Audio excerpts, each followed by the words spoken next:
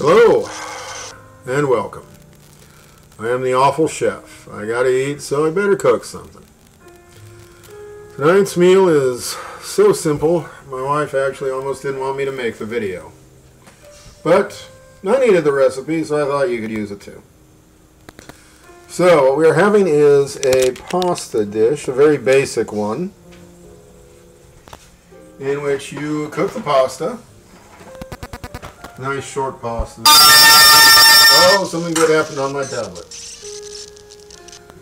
Add in about a pint of cherry tomatoes cut in half.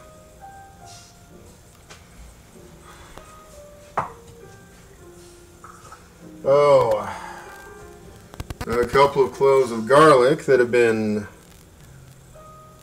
run through the press, salted, and then some olive oil has been thrown on. Yes, I'm using a garlic press tonight. A little bit of white wine vinegar. Some fresh basil, which of course is not going to cooperate with me, but it's quite a bit of fresh basil. So one thing nobody ever tells you is that you need quite a bit of fresh basil to have basil flavor.